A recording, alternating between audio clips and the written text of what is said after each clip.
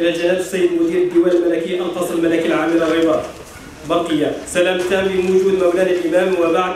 يشرفني أن ألتمس من سيادتكم رفع البرقية التالية إلى مقام حضرة صاحب الجلالة والمهابة الملك محمد السادس نصره الله وأيده نص البرقية بمناسبة اختتام المعرض الإقليمي للمنتوجات التقليدية الذي نظمته غرفة الصناعة التقليدية الإقليمي الناظور والدريوش بتنسيق مع المجلس البلدي للدريوش من 26 دجنبر 2011 إلى الخامس من يناير 2012 تحت شعار الصناعة التقليدية في خدمة التنمية المحلية.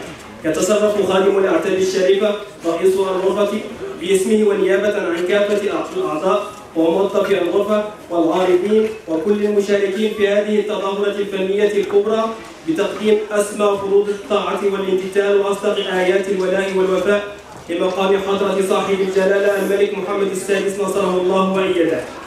ونغتنم هذه الفرصة يا مولاي لنجدد للمقام العالي لله آيات الولاء والوفاء ونؤكد التزامنا بالسلم الاجتماعي معتصمين بحبل الله جميعا وباذلين النفس والنفيس في معركة استكمال الوحدة الترابية وبناء مغربي مغرب قوي.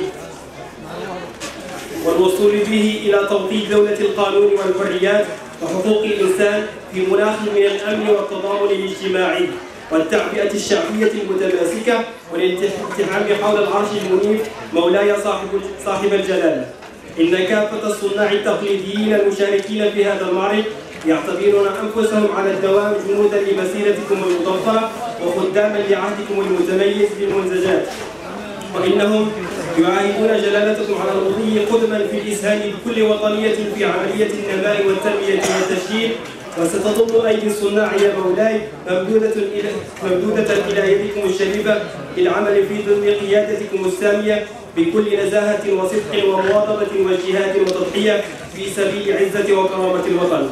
أبقاكم الله وحفظكم بما حفظ به الذكر الحكيم. ومتعكم بموفور الصحة والعافية.